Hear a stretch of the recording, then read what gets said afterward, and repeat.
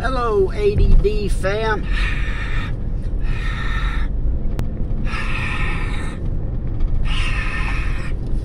So, for today's story, what will be the title? The story is, for one, Superhair 313, the owner of Superhair 313, and who else? And maybe some characters in in between. There's a girl that uh, drywall lady that hooked me up with the owner of Superhair 313. So let me begin. What is uh what is uh what is ah so I was thinking back once again crazy shit that's happened in my life stories that were out there wacky and so let me begin this story takes place we start back in the early 80s um, definitely the 80s I was a freshman in high school this is before I went to rehab because once I went to rehab and mental institutions and all that, I never went back to school that year. So, um, but I went to school in rehabs and mental institutions. There was a guy that I went to school with that was in school with me, Mike Livingston. Anyways, that'll be a shock to some people. Um, so, this was my freshman year. As I've discussed, LD, it was an LD class, and I was in LD class with a one Paul Parsons. Okay? Paul Parsons was a skinhead, anti-heroes, all that good shit. One of those guys, right?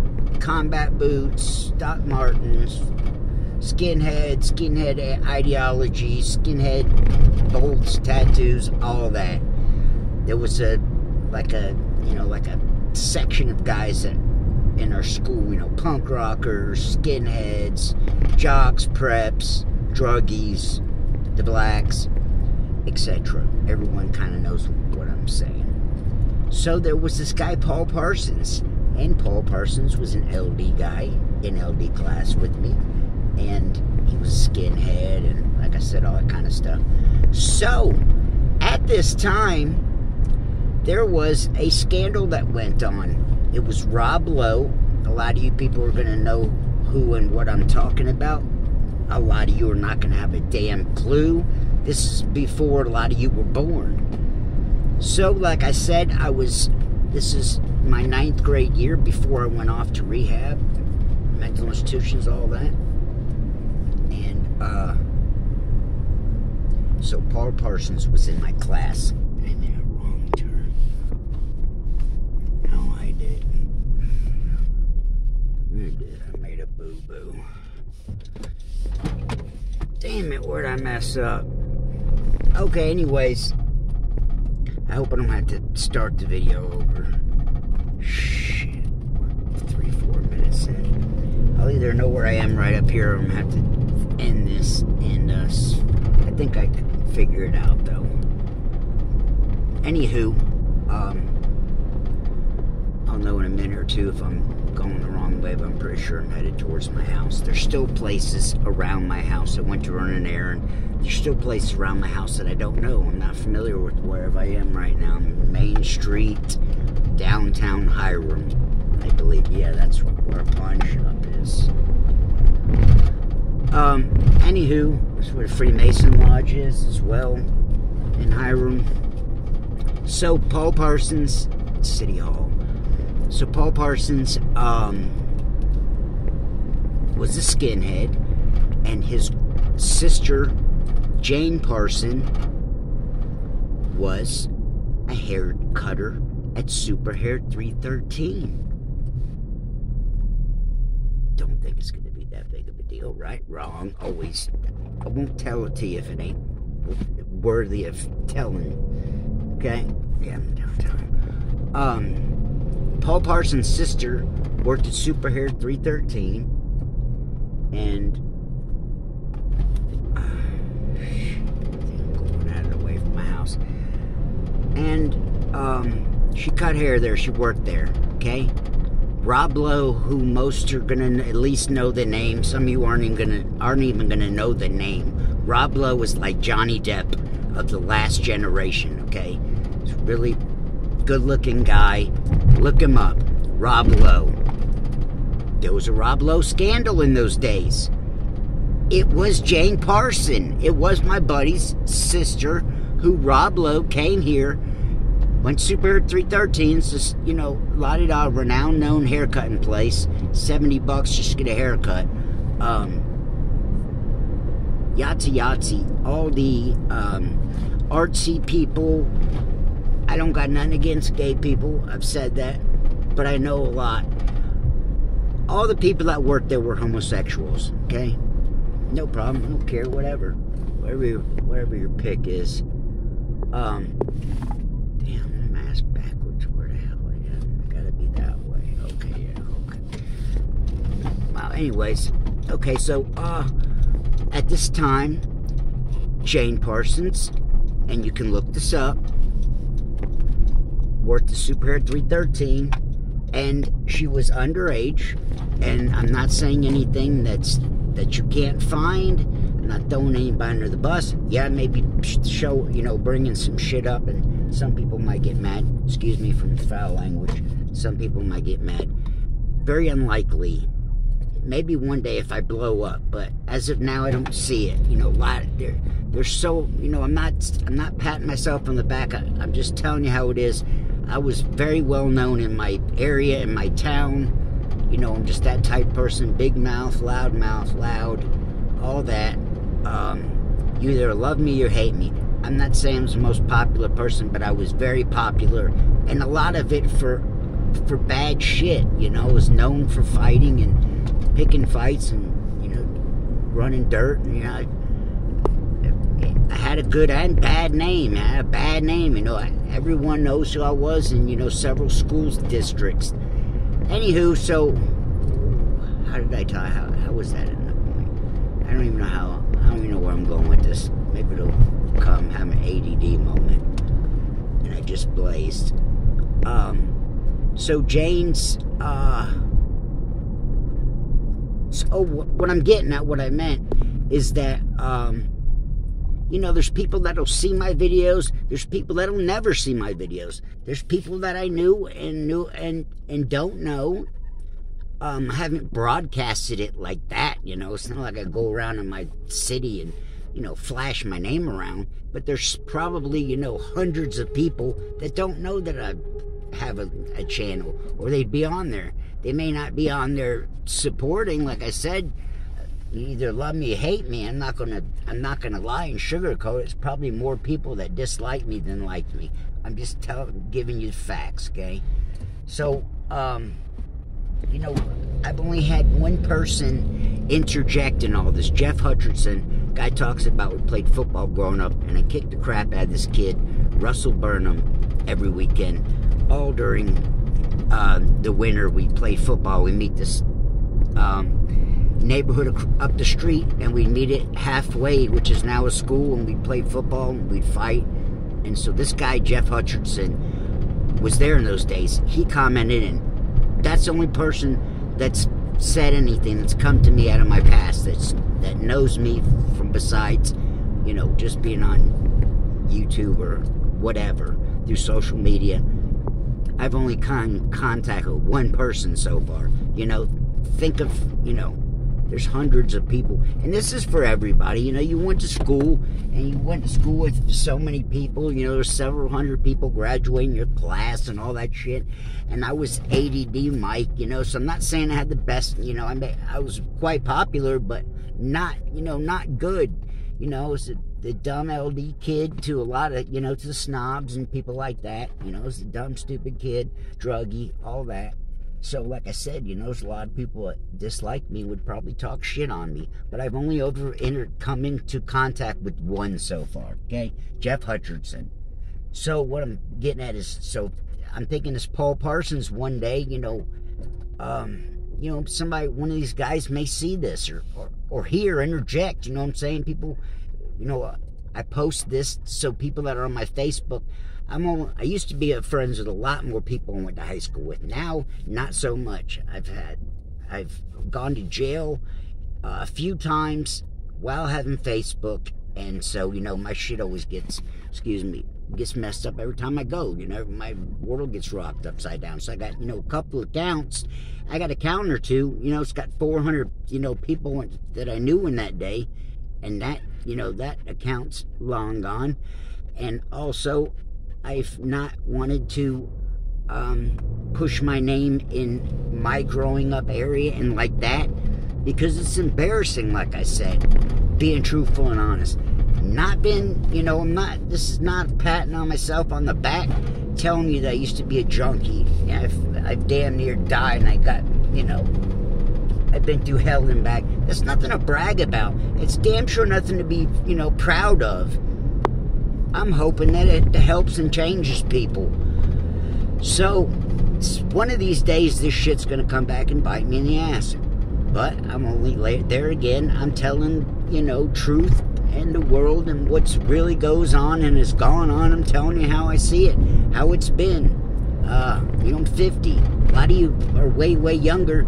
You know, this I'm sure it's a mind f to people that I have all these stories and they just don't stop and they're every single one of them just sounds like BS like I said. I've lived that since I was 15 I'm 49 now do the math.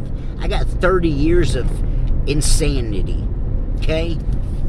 It, I've only bringing a portion of it to light. So this guy I'm in class with his sisters screwed Rob Lowe, and she's underage, and so this is like an underage kind of sex charge thing, right? This was, um, this was whatever, uh, way out there, huge, um, news, you know, like, you know what I'm saying, like the top of the charts type shit. This was that in those days, okay? 11 Alive, all the uh, ambulance chasers were at our school 24 7. Girl had it couldn't be, you know, do this and that, had to have security at one time. It was crazy during those days. And they put this guy, Paul Parsons, out in school with, and they put him on TV and they blasted him. Said all this dirty, dirty, nasty shit about this kid, this guy. Um, you know, LD, sister whore, yada, yada, yada you could imagine she worked at this place, Superhair 313, that's got these kind of contacts, okay, whatever, whatnot, right? Um, she worked at Superhair 313. So the the news and all that, and you know, your ambulance chasers and your you know, your gossip columnists were all over that shit. They were all over Superhair 313, became a um a circus in those days. Our high school was a circus there was a few things that had gone on at our school where our school was having you know you could damn near once a week you'd see the film crew. It might be right up the street but right around the area there's always wrecks drugs this that and, the, and all kind of crazy shit's gone on there over the years right? Way way out there shit. Let me give you for instance the guy todd ruth that um that built the ramp with me okay we pull out of our parking lot and right across, you pull out of the parking lot and you go right or left out of the high school parking lot. Somehow, straight ahead on the other side of the road is this huge ass rock, this boulder, right? Somehow, Todd pulls out of there and gets his little Fiero TP in on this thing. I come out of the out of, out of the parking lot one day, and my buddy Todd Ruth, who helped build the ramp, his car's literally teeter-totting on this huge rock outside the parking lot. Okay? There was this guy, Chuck Hendricks. Maniac dude, always wanted to fight. Way out there, he's been to prison several times. Chuck Hendricks used to hang out with all those fake wrestlers, try to make a name for himself, was a big drug dealer. This kid's got a, this dude's got a, uh, a story on his own, Chuck Hendricks. Bring that up one day. He tried to fight me one day. Um, he used to, real close to there, um, he used to get, he would, he had a old muscle car, right? And every day, after school or in the mornings, he would go and he would fishtail his Grand National, had a Grand National, souped up, money in it, all that, right? Mom's spoiling him. Don't know the whole story. His brother was as bad as worse. Truck comes out every single day where he's leaving and picking up his girlfriend. He's wrecked right there. This is on my way to school. Once a week, I shit you not. It had it happened at least three to five times in one year. And in one of those years, he would wreck at the same intersection, coming out there fishtailing, acting like an idiot. He wrecked at the same intersection like more than five times, right? Like silly shit. You could almost count that it was going to happen. And so this is so so there was always, you know, always something that happened all the time, all through high school, all that I can remember, all kind of crazy mad shit. This guy's wrecking there, and, and I could be way off. It could be, you know, him doing it uh, once a month or some shit. Like I said, he did it umpteen times, wrecked his vehicle, and was wrecking at the same time. He's a madman. I pull up to a party one time, Matt Clapp's house, with this girl that I'm friends with. I pull up, he's drunk as hell. He comes out the car, he's yelling and screaming, beating on my car. He's bigger than me. I wouldn't want to fight him. Not drunk. I'd rather fight him sober. He's a big dude. I was timid, truthfully. He's got 100, you know, 50, 100 pounds on me. I didn't want to fight him. I pull up to a party one day, he's beating on my hood. Fast forward umpteen, 20 gazillion years, and I'm in the hotel, the one that I just did the videos on, and I'm out in the parking lot one of these nights trying to get Zach in, and he calls. This dude, Chuck Hendricks, calls me out of the blue. I haven't talked to him in 20, 30 years, right? so he just calls me out of the blue, sees, you know, through Facebook, whatever, however he got, however it came to be, and heard, hadn't heard from him in, um, you know, umpteen decades. The last time I saw him was at a bar at, at 285 Roswell Road. You should know that story. So then he calls me out of the blue, right in the middle of, of this shit I'm doing with Zach. I've, I truthfully didn't even remember that until about two minutes ago, till I started thinking about it. I never even thought about that kind of shit. So this guy calls me way out, way into the future. So these were the kind of shit that was going on the days. Like I said, police was come to our school on the daily, and that's and you've seen the video yourself. The video with uh, what's his name? The guy says our school was the number one drug school in the nation when I was 15. So imagine that. You you heard it with your own two ears. Our school, Lassiter, Marietta, Georgia, was number one drug school ahead of um, ahead of the next one was somewhere in L.A. and the other one it was either I think it was Detroit. We were number one. So imagine imagine those days being the number one drug school in the nation.